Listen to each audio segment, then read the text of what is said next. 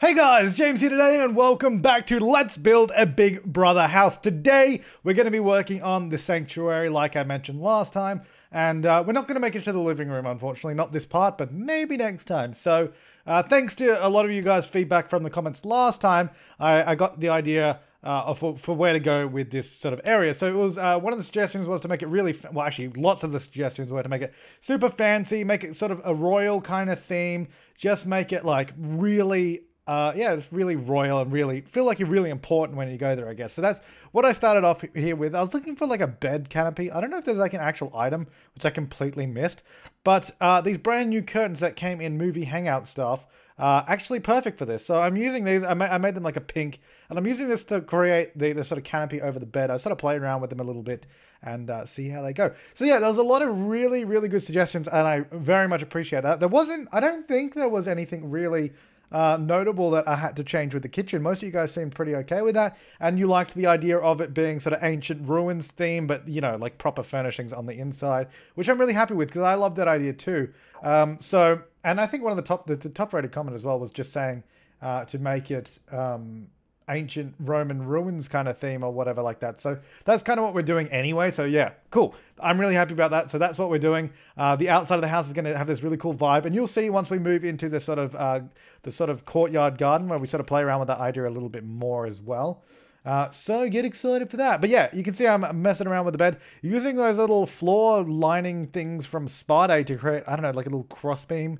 I don't know I'm sure there's some really creative people out there that have already created some cool like uh, uh, large bed canopies and all that. I didn't really know what to do, so I just used those curtains, used a little bar, and it kind of looked like that was there, and you could like draw the curtains over it or something like that. So I feel like that kind of worked, and it sort of conveyed the same idea anyway.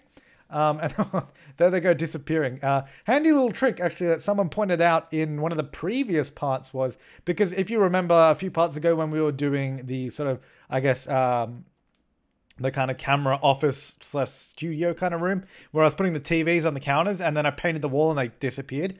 Uh, pretty pretty simple to avoid that. All you got to do is turn off move objects. The items like when you and then when you paint the wall, the items will still highlight yellow, but they will no longer disappear when you paint it. So if you if you turn off the move objects cheat, things won't keep disappearing on you. So that's really really handy to know. So thank you very much to the uh, the person that pointed that out a while ago. That was very useful. Otherwise, it would have driven me insane. Uh, but yeah, so that worked out just fine. So I'm playing around with the bed here. I wanted to get little mirrors on the, the side tables there because I thought it looked cool. I thought it would be really cool to have all these different reflective surfaces, lots of mirrors everywhere, uh, but it didn't really work out. So I was like, all right, well, that's not such a big loss there at all. Um, some of the other comments, there's one of the comments that uh, regarding the kitchen, um, I think it was, it was one of the fairly high up one. Yeah, here we go. Um, so about the kitchen and how I put that sort of uh, uh, pot in on the table in the middle of the kitchen.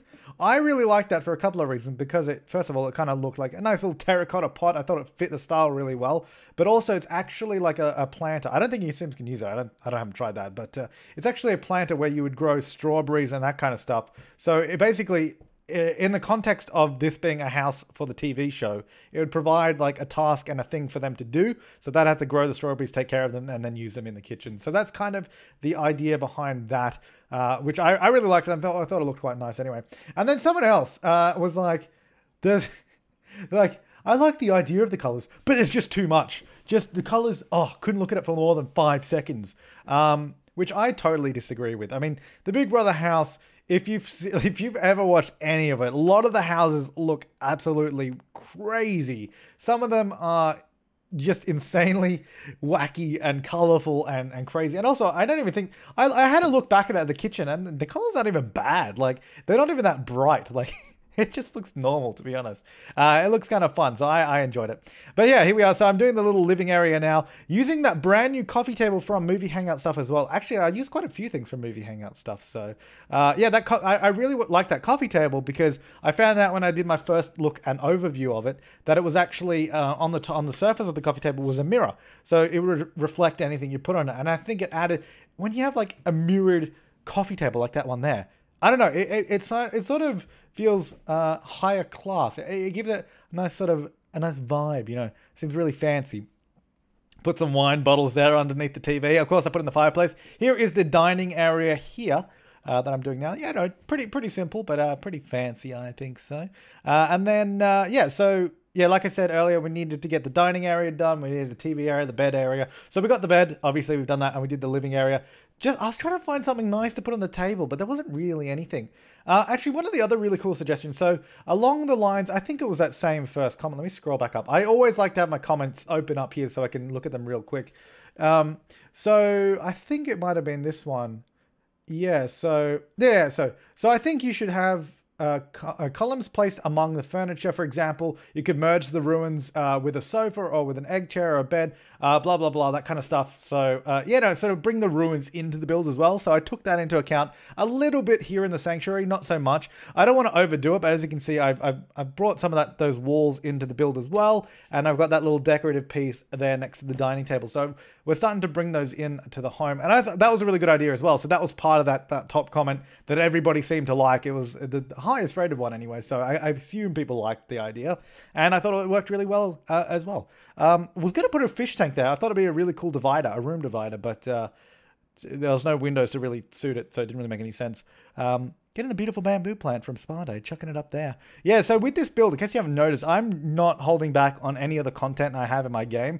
So I have all the stuff packs to date, all the, the game packs and all the expansions. And I'm just going to use everything because I want this to be, you know, kind of what I want it to be. Like I want this to be as much as I can do with it uh, and make it kind of crazy. You know, I have a lot of fun with it. And I know this isn't just like a regular build. I feel like whenever I do a let's build, they, they're kind of a little bit more, you go into more detail, you get more done, you get a lot more feedback from you guys as well. So it makes sense to sort of go, go for gold and use absolutely everything, which I was surprised. There's a lot of stuff, uh, a lot of packs that because, you know, I, I buy the packs as they come out. Um, and then you don't realize how many there are until you're like, oh, that was quite a lot. Because I think there's like five stuff packs, which is crazy. Because what was there? There was perfect. No, not perfect. It was um, something party. Was it party? Oh god, I don't even know what the first one was. I remember the first one. I wasn't impressed with it. Uh, and then there was perfect patio stuff. There was out. No, that was perfect. No, Okay, I don't even know what that spooky stuff. I know for sure. Uh, movie hangout stuff. So that's three. What was the what was the fourth one? There's like five stuff packs. I don't know what they were. Let's go look it up. Let's look it up together. The Sims 4 stuff packs. Here we go. Uh, I presume someone's got like a wiki page or something, right? Here we go. Going on here. Clicking on that. Uh, luxury party stuff, that was one of them. What was the fifth one? Because there's definitely five. Uh, oh, cool kitchen stuff. That's it. Of course, of course. Yeah, so there's five stuff packs already. That's crazy. And then there's what, like two, is it only two game packs? Outdoor Living and Spa Day? And then two expansions. So I, I imagine we'll probably be getting a game pack in the nearish future. I would imagine anyway. I don't know. We'll see. Um, I imagine we'll probably it'll probably go game pack, another stuff pack, and then an expansion. Or maybe it might go game pack, two stuff packs, and then an expansion. And then after that, probably another game pack. And I don't know. I feel like they're doing one game pack between each expansion. Or at least that's kind of how it looks to be. Uh, you don't really know their sort of patterns until it sort of progress. Anyway, I don't know why I'm talking about that. In the build, uh, the bathroom, so I made it a little bit bigger because I couldn't really fit a shower in. I felt like it kind of needed a shower. And you saw where I was playing around with half walls for a bit there because I wanted I really, I really need, I really wish they had a, a, shower that was just a shower head, like just a shower head, the taps and a drain, no like frame or glass around it. So then you could just make your own shower. Because I really just want to make these really big, luxurious showers that you know are like two by two, just giant showers, you know, because that that would be really cool. And i think that would have worked really well here. Now i'm aware and i know a lot of people are probably saying oh you could just use custom content and that kind of stuff. I have never been one to really get stuck into custom content for a couple of reasons. Uh, number one i always share my houses via the gallery. Oh back in the sims 3 you know i shared them on my website and on the exchange.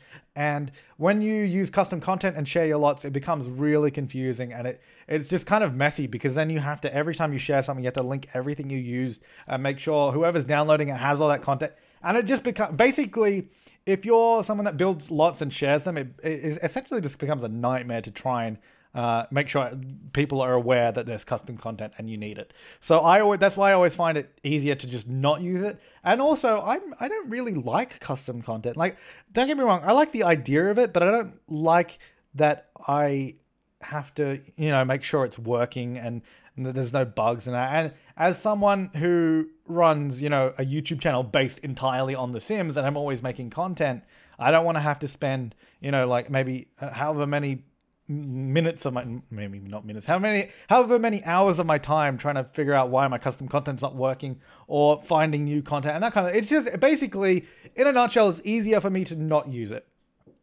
and that's why. Instead i will keep uh uh keep berating the sims team to give me more things such as carpeting floor tiles. We only have two. Three if you include the spooky stuff one, but that carpet is awful, so I don't include that one.